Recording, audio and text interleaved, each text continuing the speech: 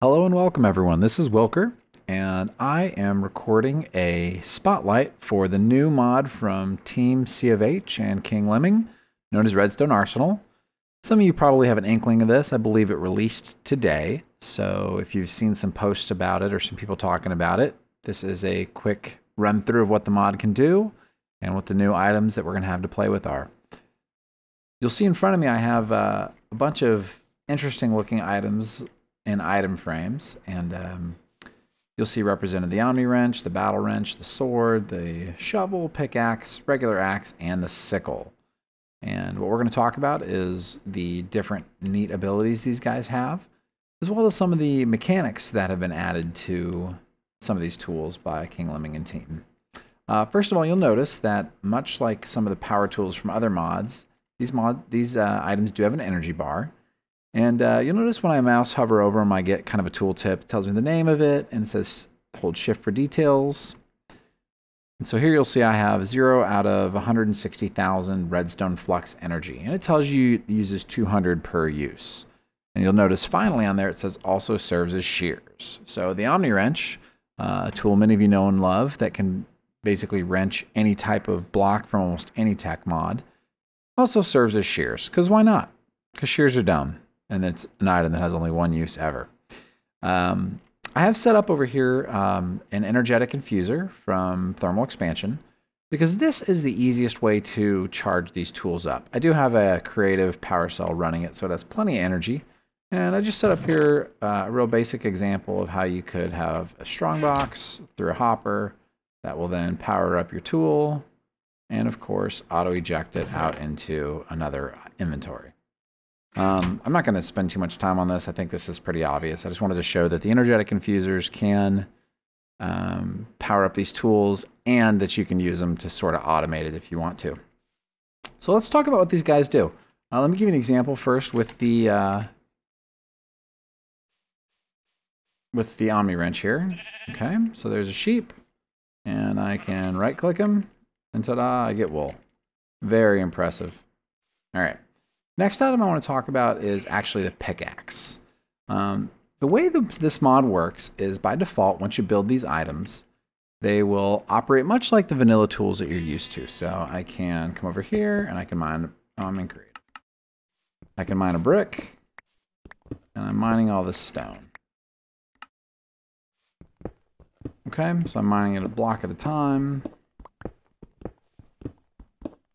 Great. All right.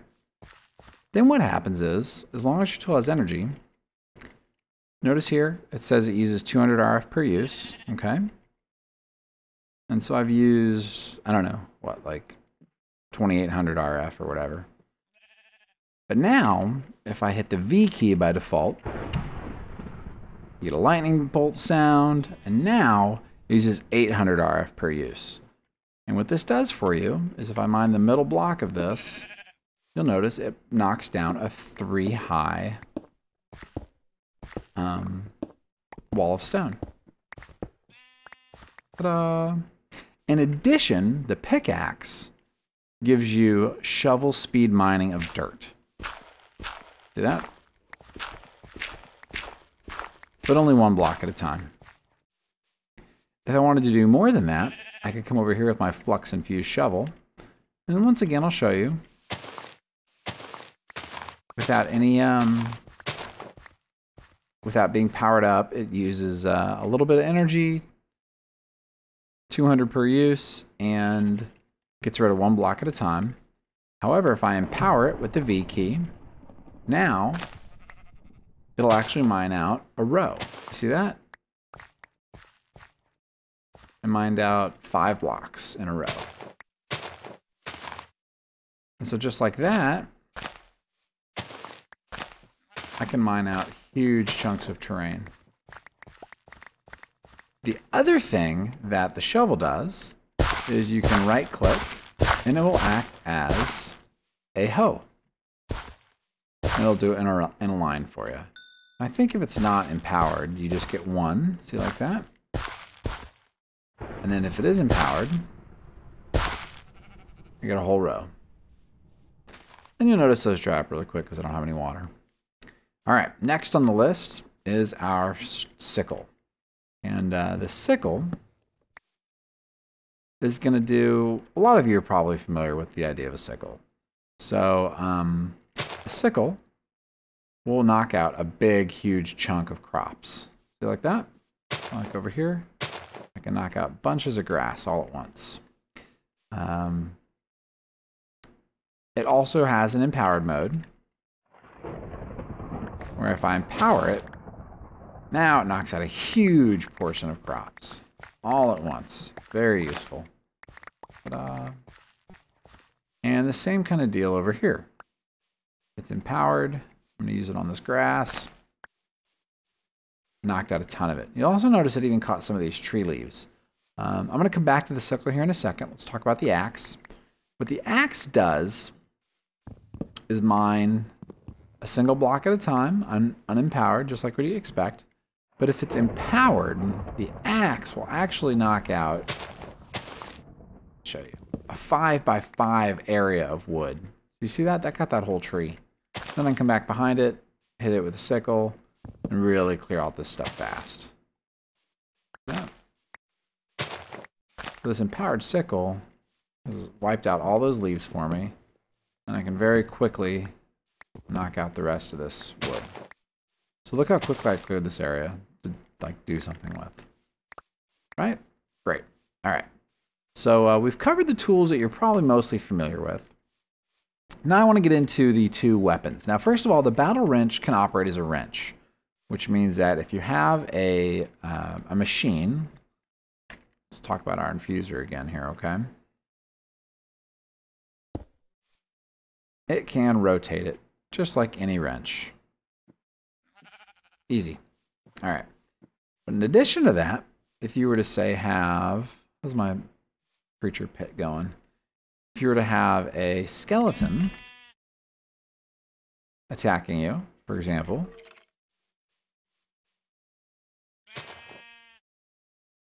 it can also, oh, it's not going to do what we want. Oh, oh, he despawned. I'm in peaceful.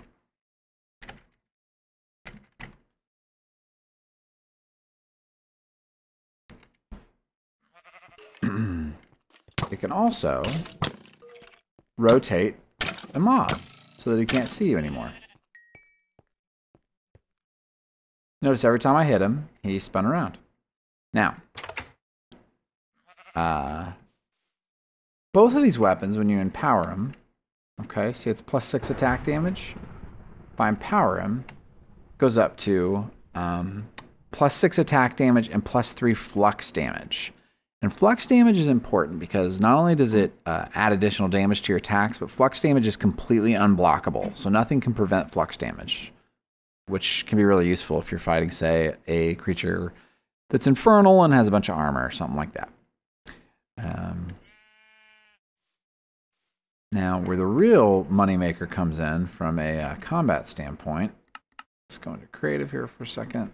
What I'm going to do here is spawn a whole bunch of zombies.